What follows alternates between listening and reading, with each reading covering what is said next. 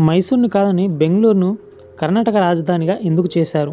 బెంగళూరుతో పోలిస్తే మైసూర్కు చారిత్రక నేపథ్యం ఉంది. బెంగళూరు మైసూర్ రాజ్యంలో ఒక పార్ట్.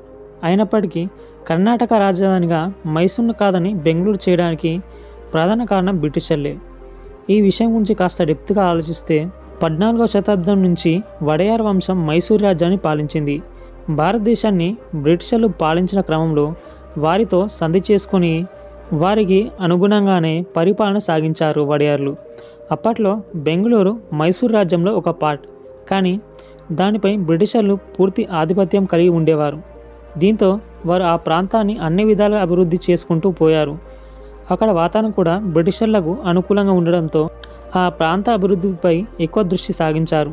బ్రిటన్ నుంచి వచ్చే వ్యాపారస్తుల కోసం రైల్వే లైన్ వేయించడం టెలిఫోన్ టెలిగ్రాఫ్ సౌకర్యాలు కల్పించడం హాస్పిటళ్ళు థియేటర్లు యూనివర్సిటీ నిర్మించడం లాంటివి చేశారు. అక్కడ బ్రిటిష్ కాలనీ కూడా వెలిశాయి. విద్యుత్ ఏర్పాటు కూడా చేశారు. మైసూర్ రాజ్యంలో విద్యుత్ వచ్చిన మొదటి ప్రాంతం బెంగళూరే. సాంకేతికంగా కూడా బెంగళూరు బ్రిటిషర్లు బాగా అభివృద్ధి చేశారు. దీంతో స్వాతంత్రం వచ్చాక అనేక సదుపాయాలున్న బెంగళూరునే రాజధానిగా చేశారు.